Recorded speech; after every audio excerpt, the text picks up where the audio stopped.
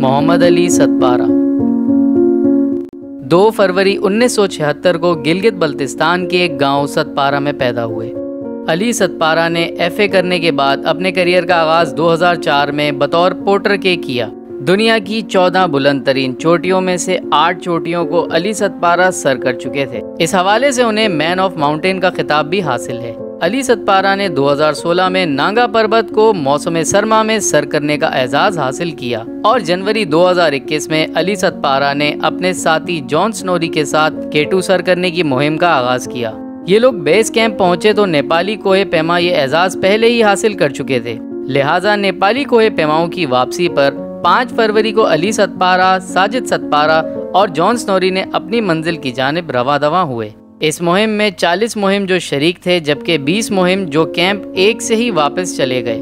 Ali Satpara, John Snorri, Sajid Satpara और JP का सफ़र जारी था। मगर साजिद सतपारा को ऑक्सीजन रेगुलेटर में कुछ खराबी पेश आने की वजह से कैंप तीन से वापस आना पड़ा। साजिद ने आखिरी बार अपने वालिद अली सतपारा को बॉटल नेक पर ही देखा था। 8,211 मीटर की बुलंदी पर केटू पर एक मुकाम आता है जिसे मौत की घाटी या बॉटल नेक कहा जाता है। इस मुकाम पर दर्जा हरारत मनफी पैंसठ हो जाता है।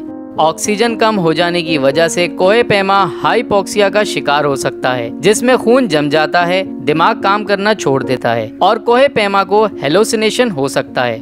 200 किलोमीटर फ़ी घंटा बर्फानी हवाओं की वजह से इस मुकाम पर कोहे पैमा किसी हादसे का शिकार भी हो सकता है। किसी गहरी खाई या ग्लेशियर में भी गिर सकता है। कदरे मुमकिन है कि अली सतपारा और इनके साथी कोहे पैमा को इनमें से किसी हादसे का शिकार हो गए हों, या फिर रस्सी टूटने का इम्कान भी हो सकता है। लापता को पैमाओं की तलाश में पाकिस्तान सिविल एविएशन, पाक फिजाइया और दीगर बैन अवी इदारों ने सर्च ऑपरेशन में बढ़ चढ़ कर हिस्सा लिया।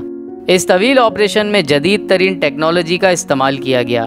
पाक फिजाइया ने सी वन थर्टी और जंगी जहाज़ एफ़ सोलह का इस्तेमाल किया गया। जबकि आइसलैंड की खलाई एजेंसी ने सैटेलाइट के इलाके की तस्वीर बनाई और माया नाज कोय पैमाओं ने जमीनी ऑपरेशन में भी बढ़ चढ़कर हिस्सा लिया, मगर लापता कोय पैमाओं की तलाश ना हो सकी, जिसके बाद हकूमती सतह पर इनकी मौत की तस्दीक का ऐलान कर दिया गया है।